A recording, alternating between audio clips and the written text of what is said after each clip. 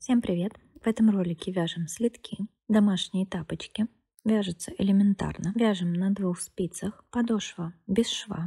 Очень удобные, очень комфортные, мягкие и нарядные. Связать можно на любой размер. Вяжем из красивой нарядной пряжи Гималая Dolphin Festival в составе 85% микрополиэстера и 15% полиамида на 100 грамм мотке 100 метров мой цвет 81-121, красивый темно-синий. Палитра пряжи представлена с вот такими нарядными твидовыми вкраплениями. Они обладают цветоотражающим эффектом. Пряжа очень мягкая, нежная, приятная на ощупь. Плюш плотный. Яркие цвета в процессе эксплуатации не линяют. Пряжа подойдет как для детского вязания, так и для взрослого. Также отлично подходит для вязания игрушек и аксессуаров. На следки у меня ушло меньше одного мотка.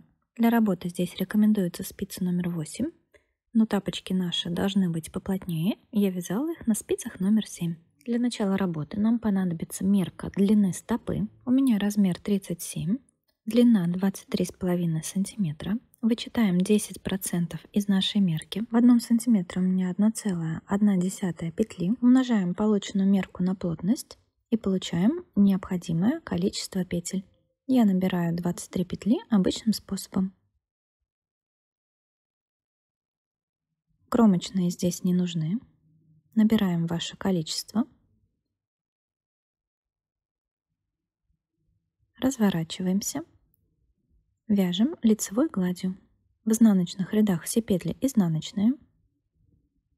Провязываю все петли за переднюю стенку, чтобы они не скрещивались. Довязываем ряд до конца. В лицевых рядах все петли лицевые. Провязываю лицевые петли за заднюю стенку. Продолжаем вязать в изнаночных рядах изнаночные, в лицевых рядах лицевые. Нам необходимо провязать высоту 18 сантиметров. Эта мерка одинакова для следков всех размеров. В одном сантиметре у меня 1,6 ряда. Умножаем 18 сантиметров на нашу плотность, получаем необходимое количество рядов я провязываю 29 рядов в высоту. После того, как провязали нужную высоту, закрываем петли обычным способом. Кромочную снимаем, провязываем петлю по узору, накидываем предыдущую. Здесь у меня все петли лицевые, накидываем предыдущую.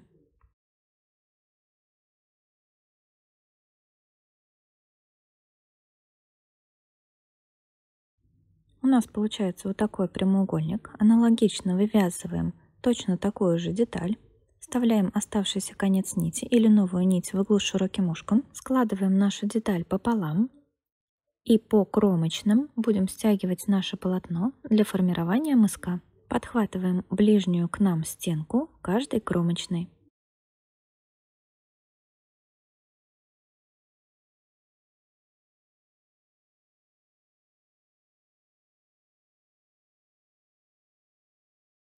Затягиваем, уводим нить наизнанку. С изнаночной стороны закрепляем, делаем небольшой узелок. Для надежности можно повторить. Выворачиваем изделие на лицевую сторону. Этой же нитью нам надо продолжить шов, оставляя небольшое место для разреза слитка для того, чтобы наша нога спокойно в него входила. Надо сшить примерно половину петель. Я оставлю 11 петель непрошитыми. Как мы выполняем шов? Подхватываем дальнюю стенку кромочной, на второй детали ближнюю стенку кромочной. Дальнюю стенку кромочной, на второй стороне ближнюю стенку кромочной. Элементарный простой шов для того, чтобы стянуть деталь. На дальней стороне подхватываем дальнюю стенку кромочной, на ближней стороне ближнюю стенку кромочной. Ни одной кромочной не пропускаем и продолжаем сшивать примерно половину всех петель. Я оставила 11 петель непрошитыми. Здесь мы нить закрепляем с изнаночной стороны. Делаем узелок и сразу прячем конец нити, уводя в наш шов с изнаночной стороны. Следующий этап формирования пятки.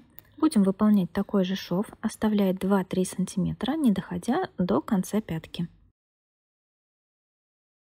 Здесь точно так же подхватываем дальнюю стенку дальней кромочной на дальние детали, ближнюю стенку кромочной на ближние детали, дальнюю стенку следующей кромочной, ближнюю стенку следующей кромочной.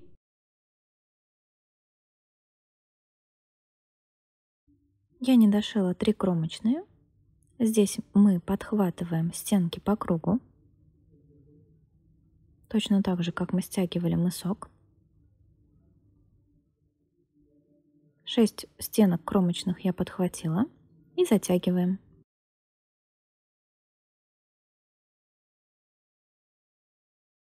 Уводим нить наизнанку, закрепляем и прячем. Стирать слитки можно в машинке. Я стирала на режиме ручной стирки. Очень удобные, быстро вяжутся и красиво смотрятся на ноге. Спасибо вам за внимание. Пишите в комментариях, что бы вы хотели еще связать из плюшевой пряжи. Мы разберем ваши изделия. Не забудьте подписаться на канал, чтобы не пропускать новые видео. Будем вязать вместе.